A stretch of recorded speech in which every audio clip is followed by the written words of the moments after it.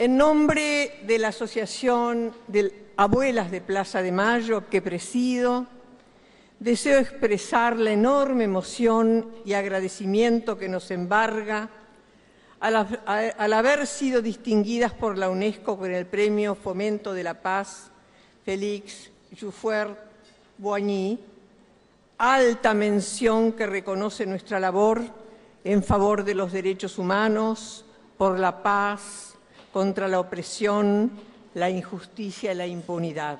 Ya que estamos en constante peregrinaje por el mundo en búsqueda del hijo o hija y nietito que nos despojó una dictadura cívico-militar que como tantas usurpó el poder gubernamental sembrando el miedo, la muerte de sus opositores y el secuestro de bebés, en su mayoría nacidos durante el cautiverio de sus madres. Nace entonces una lucha colectiva de madres, abuelas y familiares que desafiando los miedos enfrenta al gobierno ilícito y reclama el regreso de sus seres queridos y el retorno de la libertad democrática, guiadas por el amor. Toda nuestra trayectoria permitió evitar el olvido y la impunidad, con sentimientos pacíficos, pero con implacable convicción de buscar verdad y justicia, construimos la asociación sin pensar que sería una misión para siempre.